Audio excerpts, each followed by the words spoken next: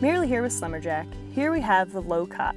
Weighing in at around 11 pounds, this really is revolutionary for the cot market as it actually packs down into this size bag.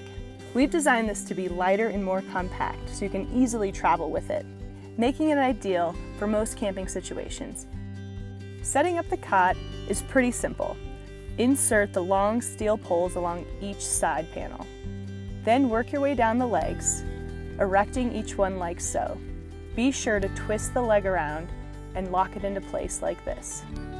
As you work your way down, you're gonna definitely wanna put a little oomph into pushing each spring into place. When you're disassembling it, you're gonna wanna run the pole back through the open end.